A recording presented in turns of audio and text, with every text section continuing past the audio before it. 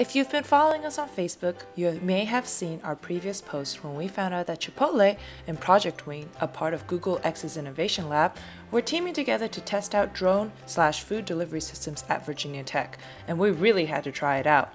This experiment was for Project Wing to test time sensitive deliveries, and what better way than to deliver delicious foods? After a fun adventure trying to find the location, we put our order in via a tablet order. The food was being prepared in a food truck about 300 feet away and would be dropped to us when completed. 11 minutes later, the drone flew up and dropped off our orders while we stood behind the safety netting so we didn't get burritos dropped on our heads. It actually hit the target drop site. Wow!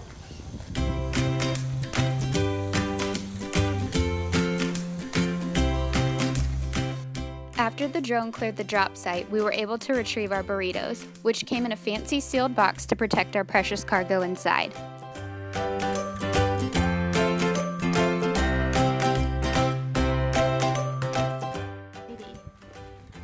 see what's in here.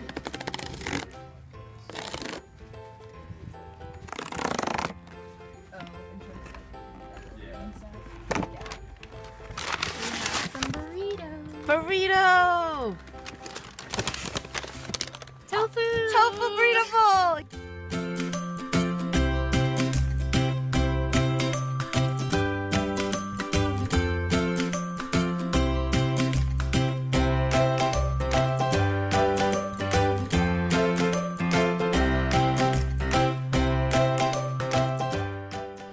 Once we unpacked our food, we used an IR thermometer to take the surface temperature of the burrito and the bowl.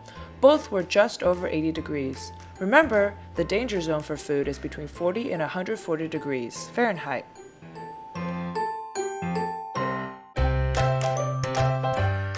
Next, we also took the internal temperature, which was about 105 degrees for the burrito and about 130 degrees for the bowl.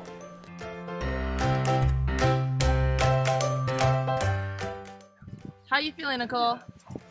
Mm, I'm scared to eat my burrito bowl. Oi. Despite the questionable temperatures, we both decided to eat our food anyway. Since the total time from ordering to delivery was about 11 minutes, we figured that we were safely under the one hour window for hot food as recommended by the USDA.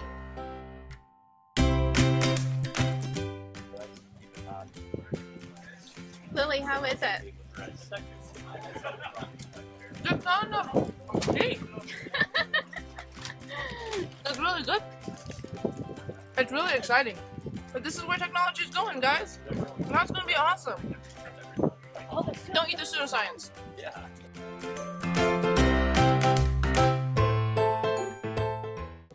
Temperature is 64.0 for the sour cream, which is